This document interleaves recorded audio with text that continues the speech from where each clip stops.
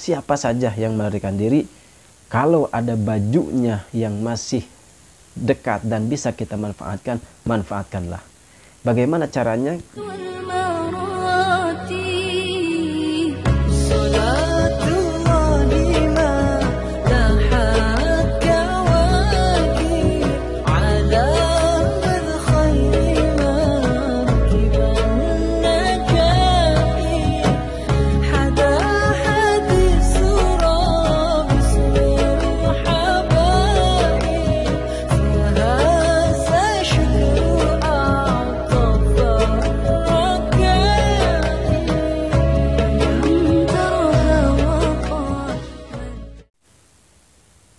Assalamualaikum warahmatullahi wabarakatuh.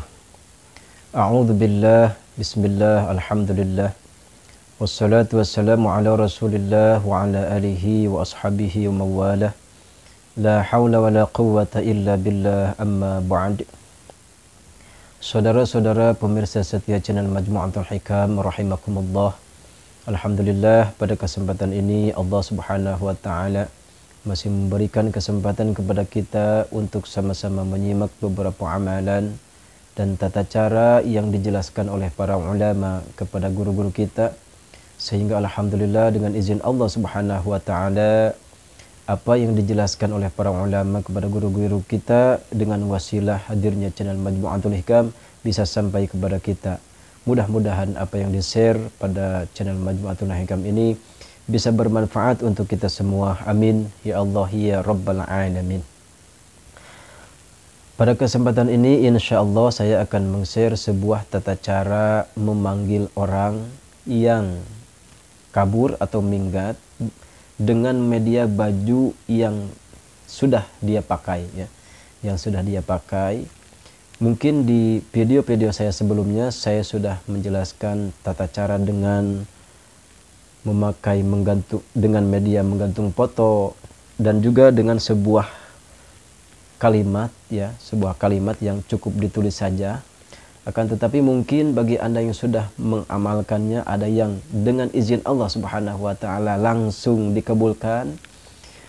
Tapi ada juga mungkin yang belum maaf ya bukan tidak dikabulkan tapi belum reaksinya Allah kabulkan tidak ada salahnya Anda mencoba dengan media baju yang pernah dipakai oleh orang yang kabur tersebut ya.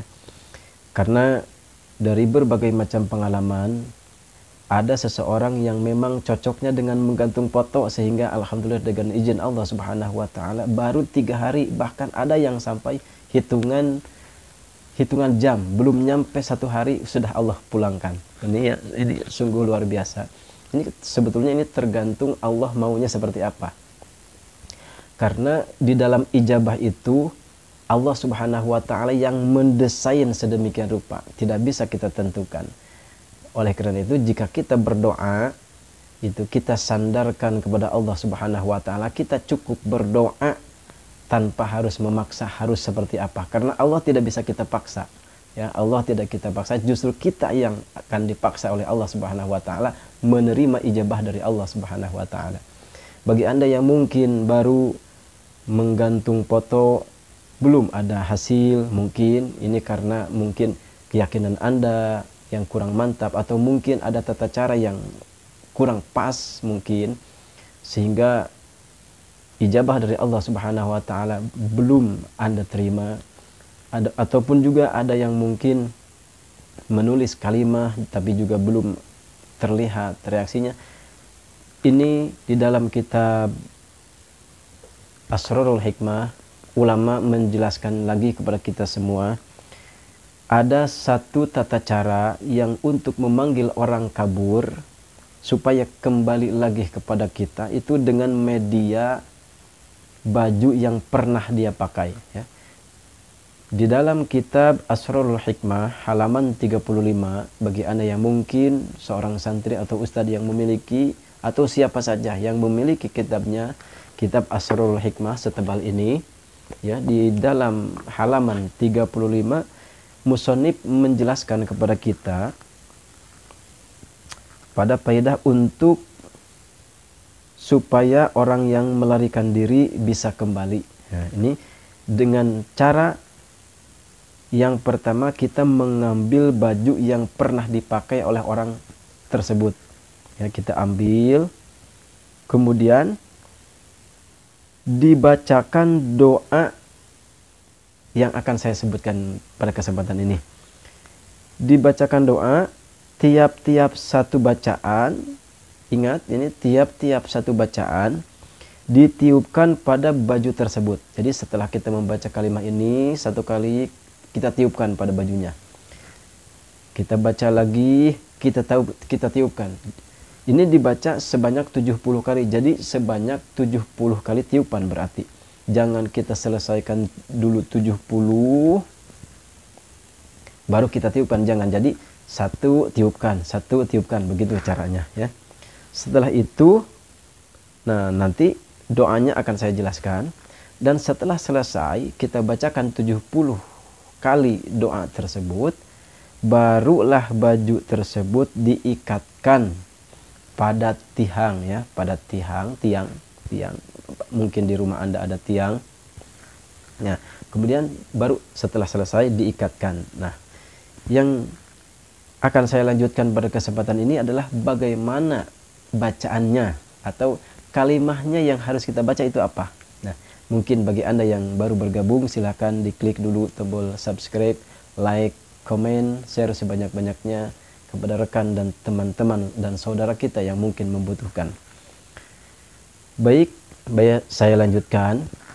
Di dalam kitab Asrul Hikmah halaman 35, Musonib menerangkan kepada kita apabila kita hendak memanggil orang yang kabur, entah itu istri, ataupun adik, ataupun anak, yang kabur atau mungkin suami atau mungkin pembantu kita yang melarikan diri padahal belum kita bayar dia sudah melarikan diri. Nah, artinya kita punya hutang supaya kita kita tidak punya hutang.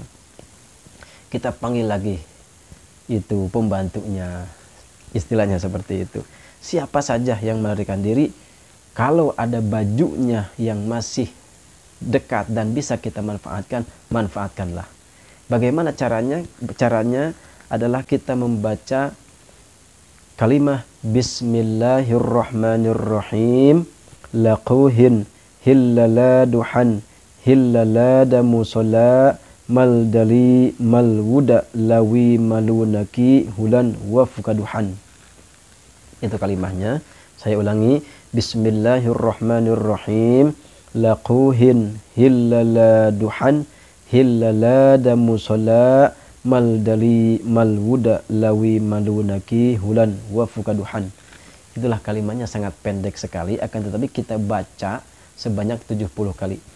Caranya misalkan ini adalah baju misalkan ini adalah baju yang akan kita gunakan untuk memanggil orang ya memanggil orang yang kabur tersebut. Ini adalah baju yang pernah dia pakai Caranya kita bacakan doa yang tadi laquhin hilaladuhan hilalada musallam maldali maluda lawi maludaki hudan lukaduhan. Kemudian kita tiupkan kepada bajunya. Satu kali. Kemudian kita bismillah lagi. Bismillahirrahmanirrahim. Laquhin hilaladuhan hilalada musallam maldali maluda lawi maludaki hudan lukaduhan.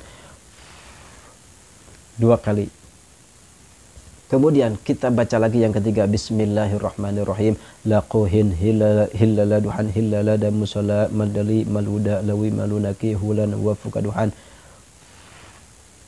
tiga kali. Nah tapi anda bagi anda mungkin yang akan mempraktekkan tidak usah satu kali dua kali, tiga kali tidak tidak usah seperti itu seperti saya. Langsung saja bacakan Bismillahirrahmanirrahim, kemudian baca doanya tiupkan. Bismillahirrahmanirrahim, baca doanya tiupkan seperti itu. Tidak usah dihitung satu kali, dua kali, cukup memakai tasbih saja ya. Cukup memakai tasbih. Ini kita kasih tanda dulu 70 artinya kalau dua sampai dua batas ini adalah 66 kita tambah 4 berarti supaya jadi 70 nah yang satu kita berwirid dengan tasbih satu menghitung. Yang satu lagi kita tangannya kita pegangkan ke, ke ke baju yang akan kita jadikan media kemudian kita berwirid. Bismillahirrahmanirrahim. Laquhin hilaladuhan hilalada musalla maldali malwuda lawi malu lawi malunaki hulan wa fukaduhan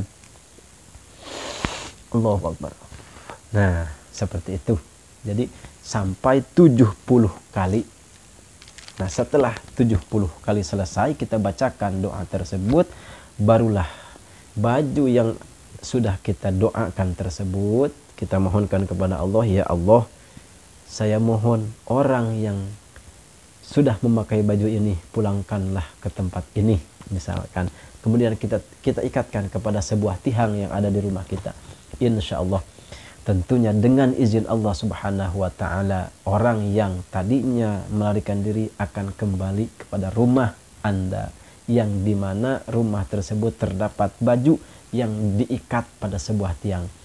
Ini tidak usah kita bertanya kenapa harus diikat ke tiang, ini kenapa harus dibaca 70 kali, ini tidak usah kita pertanyakan karena ini sudah dijelaskan oleh para ulama. Kita cukup memakai dan mengamalkannya saja ya.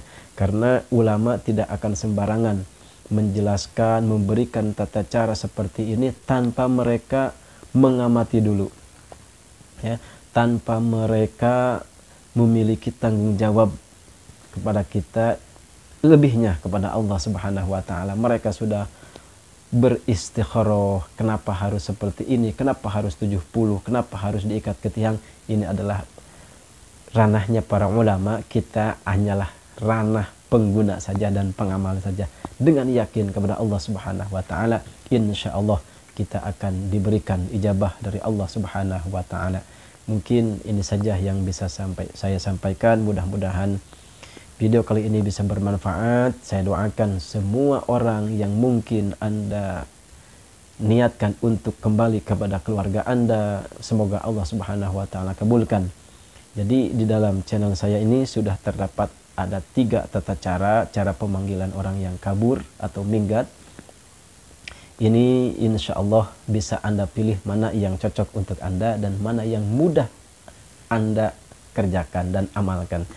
Ingat, kuncinya adalah yakin kepada Allah Subhanahu wa taala jangan bersandar kepada amalan kita tapi sandarkan kepada kekuasaan Allah Subhanahu wa taala karena orang yang minggat itu bisa dipulangkan hanya dengan Allah Subhanahu wa taala dengan kekuasaan Allah Subhanahu wa taala tanpa semua itu tanpa keyakinan kita kepada Allah Subhanahu wa taala ini akan sesuatu akan menjadi sesuatu yang berdosa untuk kita ya mudah-mudahan tata cara yang berikut yang sudah saya jelaskan ini bisa bermanfaat untuk kita semua. Saya cukupkan sekian. Billahi taufiq wal hidayah. Wassalamualaikum warahmatullahi wabarakatuh.